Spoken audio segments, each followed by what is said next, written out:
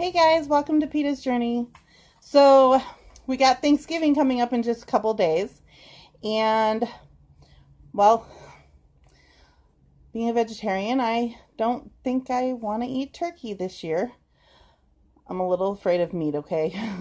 Last time I tried meat, I got really sick. So, I'm avoiding it still, even though I decided that on holidays I could eat meat it doesn't seem to be happening.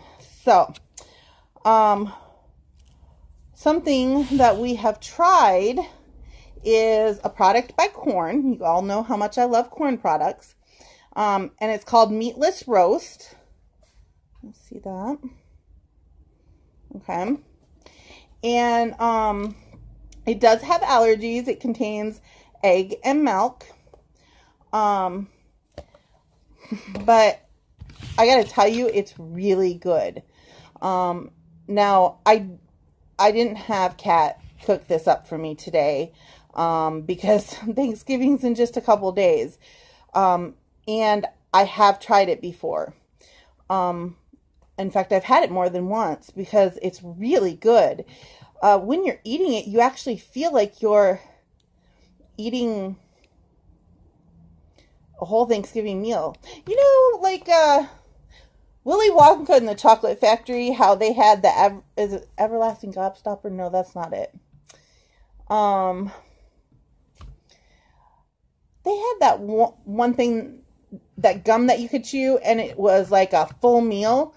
Yeah, that's kind of what this makes me think of when I'm eating it. You feel like you're having the full Thanksgiving meal. It's really good. so, okay, I wanted to show you what it looks like. It it looks like this. It's in a, well, this is the little cooking container thing. Um, and this is what it looks like. And, uh, so yeah, it, it doesn't look like a turkey. Um, however, when you cut it up, um, it does look like little turkey slices. Um, and it's even great as sandwiches the next day. Um, you can even use this, uh, just to have some sandwich meat around. Um, nice, good turkey sandwich meat.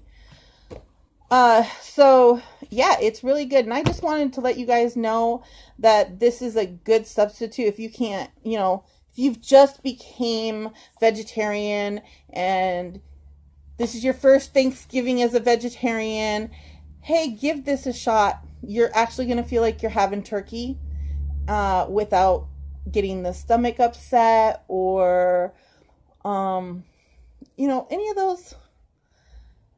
Maybe, maybe you just don't like the fact of killing an animal. Hmm, it's okay. You don't have to this year.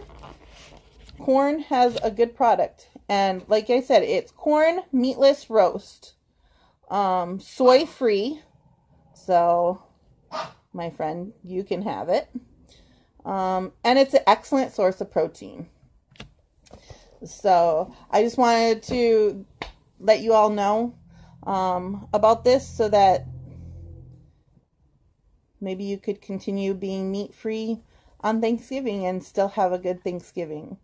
So um, I hope everybody has a wonderful Thanksgiving and um, drop me a line down in the comments and let me know what you had for Thanksgiving or you're planning for Thanksgiving um, this year. Uh, even if it is a turkey. uh, let me know. And I hope you guys all have a great Thanksgiving.